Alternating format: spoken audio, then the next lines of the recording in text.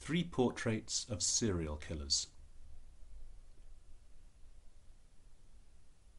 In dead of night they steal, who knows, soft from starships or on tiptoes, to leave a sign or play a trick, to teach the wise or gull the thick, with ray guns or with planks of wood, to break their necks before they should and leave thousands of unripe dead, and feed them tales who expected bread.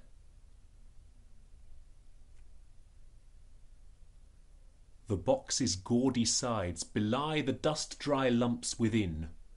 It most definitely does not do what they say on the tin. Was it for this dull mockery that we got out of bed? As healthy as it claims to be, it's definitely dead.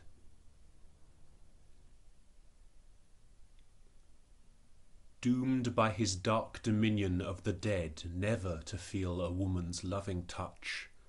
O oh, hard fate, even for a god too much. He dared violent trickery instead.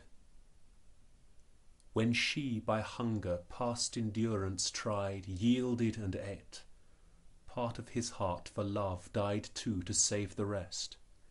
Meanwhile, above, alone and desolate, her mother cried.